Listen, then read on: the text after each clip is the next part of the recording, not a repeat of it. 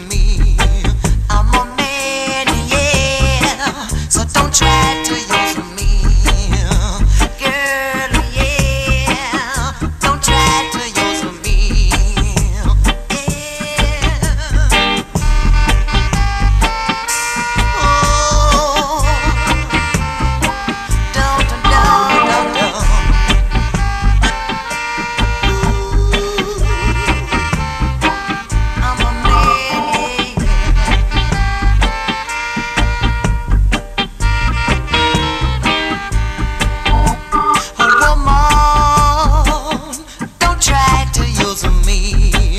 I'm a man, yeah, so don't try to use me. The first time my mommy saw her, she took her in her arms and said to me, "Son, this girl met.